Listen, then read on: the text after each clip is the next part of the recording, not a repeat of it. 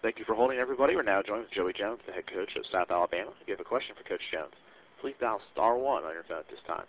Coach, while waiting for questions to get in the queue, would you mind starting us off with a opening statement?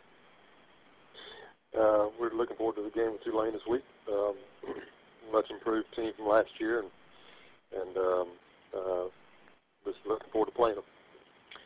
Thank you very much, Coach. Our first questions come from uh, Birmingham, Alabama. Caller, please identify yourself and go ahead. Hey, Coach. Uh, Dan Harrelson with Football.com. How are you today? Doing good. How are you? Not bad. Uh, just talk about uh, Tulane going there and uh, just really about Nick Montana, their, their starting quarterback. He looked very efficient in their first game. Just talk about the task going against him. Well, first of all, when you look at their team, you see a much improved team from last year. So it stands out to you on film um, on both sides of the ball. Um, they've got a we've got one of the best kickers in the country, the special teams, and offensively, uh, you know, Montana's playing good and good running back uh, as well. And defensively, their defensive line's uh, huge. You know, they're sharing tight guys, about 330 each, and just got more size, and their their speed at linebacker is much better than it was last year.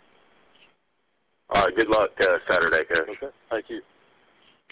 Thank you very much, Dan, and uh, thank you, Coach. That's all the questions we have for you today. We do appreciate it. Thank you. Bye-bye. Remember, we stand by. We'll have Dennis Franchione of Texas State on shortly.